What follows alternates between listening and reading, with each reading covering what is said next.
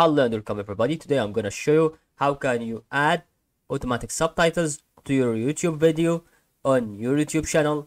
So let's go through this video right now and don't forget to subscribe to our channel. This will be easy than what you think about it and as soon as possible I will help you next through that. So all you need is just to go here on the part on subtitles. Then once you go to subtitles you will need to go to your video right here. So as you can see we will go here and click on the video. And once you click on the video you can set your language. Then once you go set your language for the first one for example i will go for uh, a language about so portuguese. So confirm that one. Then you have published your video on portuguese.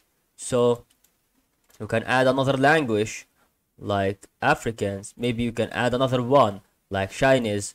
Anything that you can. You that can add more than one subtitle for your video. So since we are going here, you will understand that is about to have this through the part where you are looking for.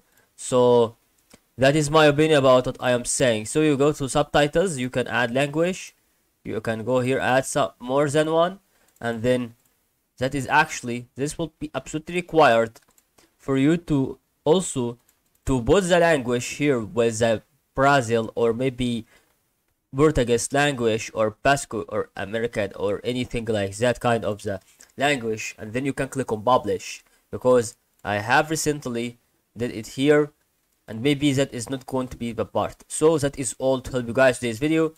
Thank you for watching. I hope this is totally helpful and good luck